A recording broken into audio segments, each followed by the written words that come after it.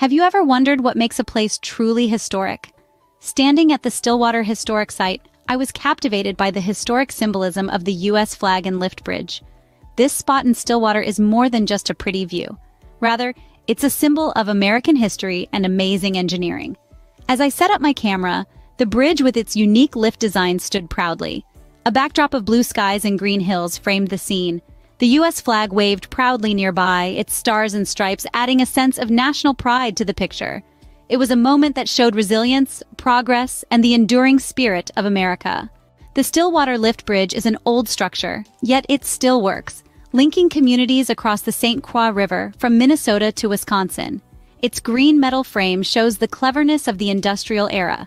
Each rivet and beam tells a story of the countless workers who contributed to its creation. Furthermore, the bridge lifts to allow boats to pass, a feature that once represented the cutting edge of technology. As I composed my shot, I felt a sense of awe. This bridge isn't just a way to get from point A to point B, rather, it's a piece of living history.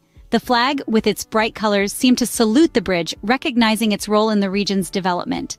Taking this photograph was a powerful experience. It made me think about how often we pass by these symbols without truly seeing them. How many times have we crossed a bridge or seen a flag and not paused to reflect on their significance? In capturing this image, I aimed to highlight the harmony between the man-made and the natural. The lush greenery around the bridge contrasted beautifully with the structured steel. Meanwhile, the flowing river added a sense of tranquility. The image features the U.S. flag and the Stillwater Lift Bridge at its heart. It serves as a reminder of our nation's rich history, it urges us to appreciate the everyday marvels that define our landscapes. This site is not just a historic landmark, it's a symbol of the enduring spirit of the communities it connects. Through my lens, I hope to share the story of this remarkable place.